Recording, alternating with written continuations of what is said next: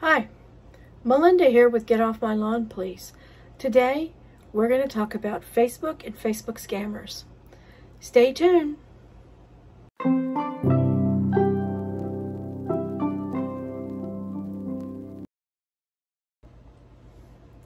Hi, Melinda here with Get Off My Lawn Please.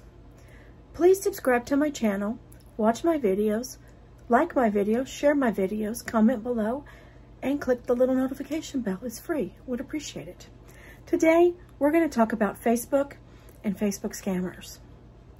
Now, I do have a presence on Facebook. I'm not on there as much as I was in the past. I have found that my life is much more harmonious without it. Um, I'm sick of the keyboard warriors, and they're pretty prevalent on there. Just because you don't agree with them or they don't agree with you, they're going to burn you down. I don't need that in my life. No one needs that in their life. As I said before, and I've talked about this before, people apparently forget that there are people on the other side of the keyboard, and they don't care if they hurt someone or what they do. But it doesn't have to be a part of your life. But I still am, I haven't disabled my account simply because I manage a couple groups, and then I'm in touch with people that I've known for a long time. I found them on Facebook again, and I don't want to lose that. I like that contact. And then there are a couple of other causes and stuff that are important. Uh, and actually, we'll have some of that on here later. But, excuse me. You know, in a previous video, I did mention that someone I know was scammed. And that scammer picked them up on Facebook.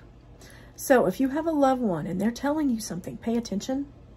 Or if someone you know tells you something, pay attention. Maybe you need to get an, people together and do an intervention.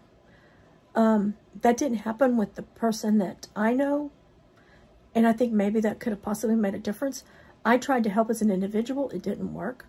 And now um, with, you know, there are problems because the fallout of what happened. And it destroyed relationships. I can't trust that person anymore. I honestly can't. Anyway, so last night I received a friend request for some dude. I don't know this dude.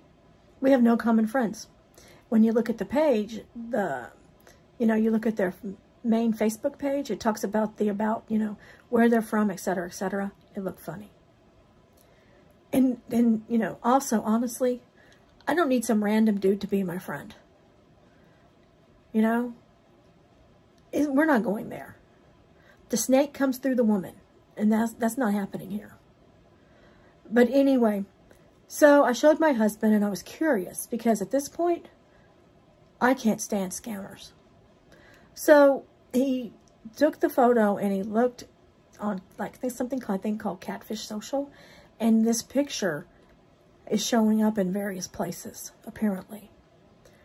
So I think it's a scam. So I actually didn't do anything last night because I wanted to make a video about this. So this morning, uh, I'll put the screenshots up here of the page and everything. And basically what I did was I reported it to Facebook as a fake page. And then I blocked it. Bye-bye, scammer. And um, last week, one did slip through. It was a lady, an older lady. I'm not young, but she was older, so I thought, okay, you know, and typically, I'm very careful with Facebook requests simply because I don't allow my husband's fans, you know, he's an author. I don't allow his fans on our on our my Facebook page because it's a lot about what our family does. Or it was in the past. Like I said, I haven't been posting much now. Um, and I don't think any fans need to know about our day-to-day -day life. You know, if it's a friend and we talk about we went fishing this weekend and we got pictures of my daughter Maribeth and whatever, you know, she's older now too, so that's fine. But I don't want it all over the place. So anyway, there's that. But um, I'll include all the pictures so you can see. You know, and if you run across one, you know, get rid of them off of Facebook. But this lady, anyway, back to the story. This, so this lady, I accept her friend request. Next day it starts. Hey, did you hear about PCH? They can give you money and grants and etc. I was like, what is PCH? I didn't put two and two together. She comes back, Publishers Clearinghouse. I was like, uh, scam. They sell magazines, and they have that sweepstakes to sell magazines. That's it. They don't give money and grants other than that. So I was like, you're a scammer, you're gone. But I didn't say it that nicely. I know, I, you know, I'm on here saying, you know, spread love and kindness. And I truly mean that.